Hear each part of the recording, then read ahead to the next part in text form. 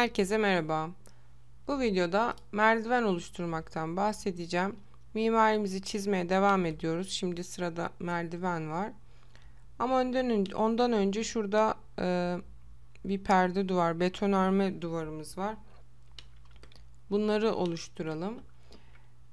Architecture'ın altında Component, Model in Place diyerek bir perde duvar oluşturacağım. Burada Structural Column seçeceğim. OK dedim. Buranın adını da perde duvar 1 diyelim. Burada extrusion oluşturup duvarı çizmeye başlıyorum.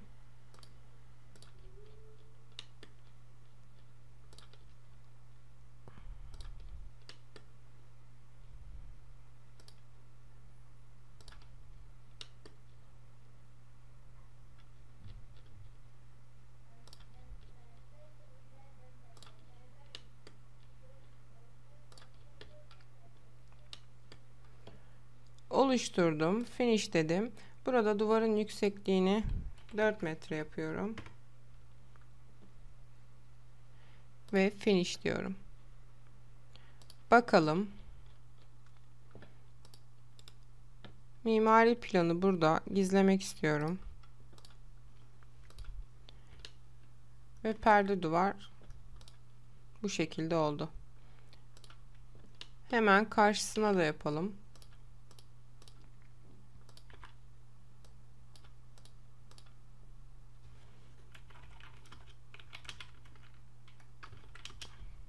Perde duvar 2 dedim.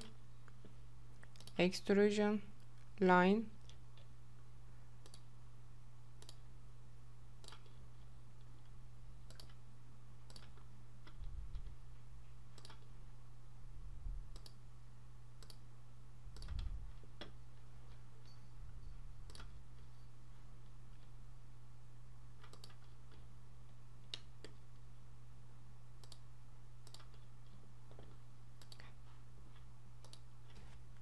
Yine 4 metre diyorum.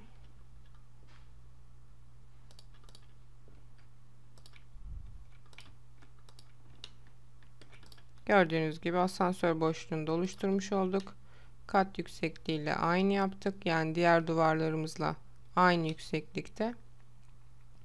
Betonarme perde duvarlarımızı oluşturmuş olduk. Şimdi merdivenimizi oluşturacağız. Önce merdiven oluşturma çeşitlerinden biraz bahsedelim. Daha sonra kendi merdivenimizi oluşturacağız. Architecture sekmesi altında stair komutuyla merdiven çizebiliyoruz. Burada merdiven çizerken Properties'te merdivenimizin özelliklerini seçebiliriz. Edit Type deyip özelliklerini değiştirebiliriz. Hesaplama biçimini biliyorsanız değiştirebilirsiniz. Şimdi burada çok fazla detaya girmeyeceğim. Şurada basamak numarasını veriyorsunuz. Burada da rıhtı yani işte basacağınız yerin yüksekliğini ya da derinliği miydi bu ya? Evet burası derinliği. Derinliğini veriyorsunuz. Ee, burada basamağı mesela 20 yaptınız. Burada zaten kendisi yüksekliğini hesaplıyor kat yüksekliğine göre. Derinliğini de işte 30 yapabilirsiniz. Veya işte buna oranla nasıl yapılması gerekiyorsa ben çünkü mimar değilim tekrar söylüyorum. Bu konularda çok bilgim yok. Ama projenize göre en doğrusu hangisi ise veya varsa standartlarınız bu standartlara göre çizime başlayabilirsiniz. Ben nasıl çizildiği ile ilgili bilgiler vereceğim şimdi. Burada nereden başlayacağını seçiyorsunuz. Birinci kattan ikinci kata gitsin diyorsunuz. İşte e, birinci katın döşemesinden ne kadar yük, yüksekte olsun onu seçebilirsiniz. İkinci katın döşemesinden ne kadar yüksekte bitsin onu seçebilirsiniz. Şimdi alt barda açılan e, seçeneklerden bahsetmek gerekirse lokasyonunu soruyor. Yani merdiveni nereden çizmeye başlayacaksın? İşte merdivenin ortasından mı, Sağından mı solundan mı? Bitiş noktasından mı? Offset'i de çizdiğiniz çizgide yine duvarlarda da bahsettiğim gibi çizdiğiniz çizgiden ne kadar offsetli çizsin, ne kadar uzaklıkta çizsin onu belirleyebilirsiniz. Burası duvarın genişliği. Yani işte pardon duvarın değil merdivenin genişliği yani şu genişlik. Genişlik ne kadar olsun onu seçebilirsiniz ve burası sağanlık yani çizerken otomatik sağanlık yapsın mı yapmasın mı diye soruyor. Yine burada merdivenin e, biçimleri var, şekilleri var. Hangisini yapmak istiyorsanız onu seçebilirsiniz. Mesela şimdi düz olandan başlayalım yapmaya. Şimdi tıkladım herhangi bir yere ve burada kaç basamak olduğunu söylüyor bana. Totalde kaç basamağım kaldığını söylüyor. Ben buraya 20 basamak yapmak istediğimi söylemiştim. Şu an 4 basamak yaptın diyor. 5, 6 ve geriye 14 basamak kaldığını söylüyor. Peki tıkladığımda 20 basamaklı bir merdiven oluşturdu ve korkulu ile beraber oluşturacak finish dediğimde finish dedim ve nereden başlayıp nereye gittiğini veriyor bana. Burada up yazısına tıklayıp bunu istersek kaldırabiliriz veya up yerine başka bir şey de yazabiliriz. Hemen 3D görünümden bakalım. Gördüğünüz gibi alt kattan başlayıp üst kata giden düz bir merdiven yaptık. Şimdi diğer merdiven çeşitlerine bakalım. Yine tıkladık. Yine 20 basamak olsun dedim. Burayı 300 yaptım. Burası da kaçıncı basamaktan başlayacağını söylüyor. Birden başlayacağız. Yuvarlak yapabiliriz.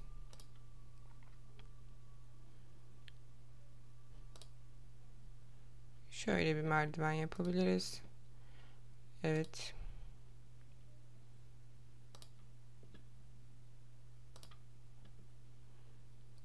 Devam ettirebiliriz bu şekilde. Finish deyip tekrar merdiven çizersek farklı yapacaktır. Bunu siliyorum şimdi.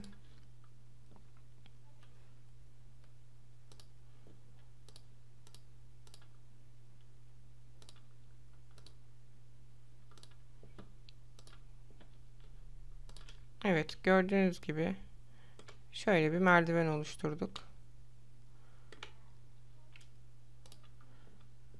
Revit'te her şey gibi merdiven çizmek de çok kolay.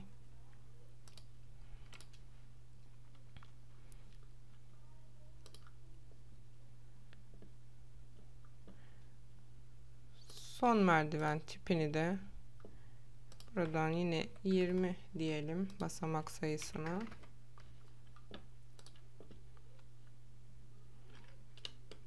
Yine space tuşuyla yönünü değiştirebiliyoruz.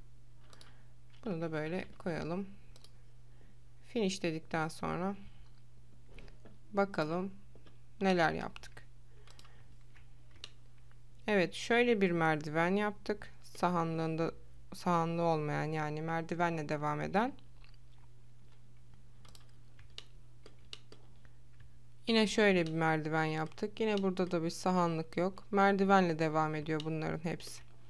Peki biz şu dönüşte basamakların olmasını istemiyorsak ne yapalım şimdi? Düz merdivende yine 20 basamaklı bir merdiven seçiyorum. Şimdi tıkladım, geldim. 10 basamak yaptım. Şu kadar bir boşluk bırakıp tekrar devam etmek istiyorum. 10 basamağı da böyle yaptım. Merdiven verdiğim noktalardan devam etti. 20 basamaklı merdiveni sahanlı ile beraber oluşturdu. Gördüğünüz gibi sahanlık oluşturdu. Yine gelelim stair. Burada kendisi otomatik döndüğü için buna yapamayız. Bunlar da keza aynı şekilde. Bunlar kendisi otomatik dönüyor.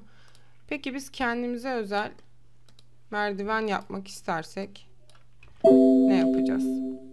Şimdi zaten yapacağımız şey bizim buradaki merdivenimizdi.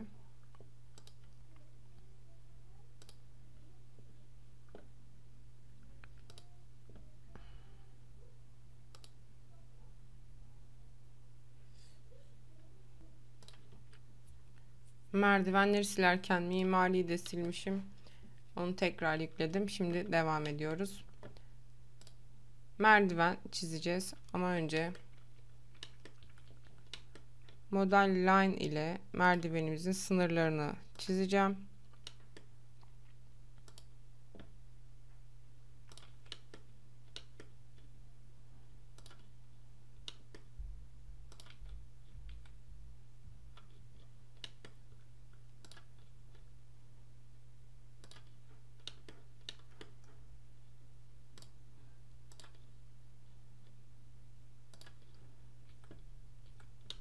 Evet şu şekilde sınırlar verdim. İçlerini zaten mimari olduğu için altta tutacaktır. Deneyelim hemen. Basamak sayımız 20. Buraya 20 diyorum. Diğerlerini kendisi hesaplasın. Burada create sketch diyor. Yani kendi merdivenimizi yaratacağız. Boundary ile alanımızı seçeceğiz. Pick line'a tıklıyorum altında çizdiğim yerleri referans alarak alanını oluşturuyorum. Evet. Dış alanını oluşturdum. Şimdi basamaklarını oluşturacağım. Riser'a tıkladım. Yine tekrar pick line ve basamakları seçmeye başlıyorum. 1 2 gördüğünüz gibi sayıyor da 2 basamak yaptın 18 kaldı diyor. Basamakları tıklıyorum.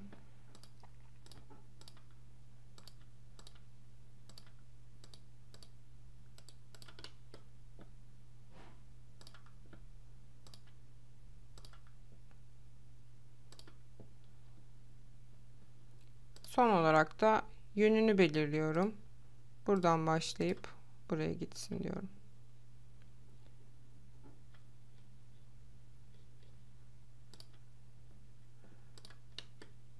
Evet, merdiveni oluşturdu. Korkulu neden yarıda bıraktı?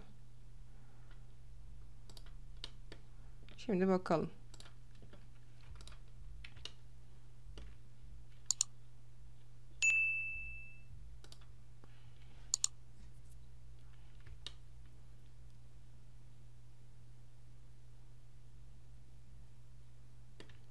Finish dedim. Şimdi biz dışarıda korkuluk kullanmayacağız. O yüzden bunu silebiliriz. İçerideki kalabilir. İçeridekini de değiştirebiliriz. Tıkladığımızda burada mesela boru şeklinde yapabiliriz. Genelde binaların içinde bu kullanılır. Evet şurada bir sorun var sanırım. Bunu pek tamamlamış gibi görünmüyor. Ama ondan önce şunu da yapalım. Şimdi buradaki e, kalınlık 50 milimdi. Şu kenardakiler 25 milim. Bunu değiştireceğiz. Edit dedim. E, o yüzden şu sol tarafları değiştirmemiz gerekiyor. O yüzden buna tıkladım. Bunu çoğalttım. 25 milimlik yapacağım.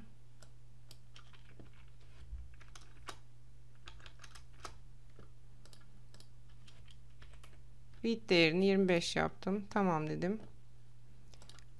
Tamam dedim. Gördüğünüz gibi burası 25, burası 50 olarak kaldı.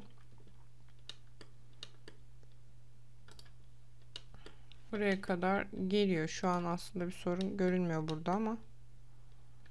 Evet şu altındaki çizgileri de silelim.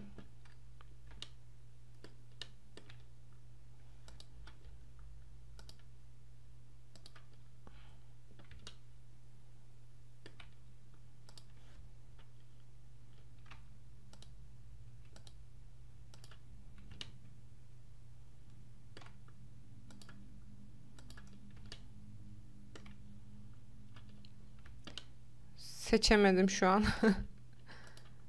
Onları seçmeme izin vermedi. Çok da önemli değil aslında. Şu şekilde de seçebiliriz bunları. Filter'dan line'ları seçip silebiliriz. Evet sildik. O kadar uğraştığımıza değmedi gerçekten.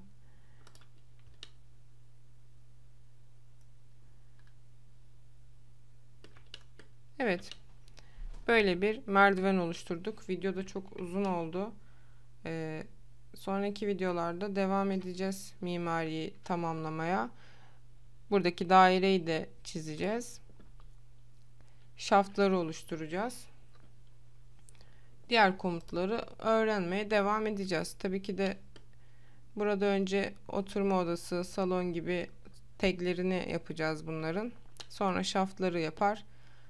Burayı da tamamlarız diye düşünüyorum. Umarım faydalı olmuştur bu videoda. İzlediğiniz için teşekkür ederim. Sonraki videolarda görüşmek üzere.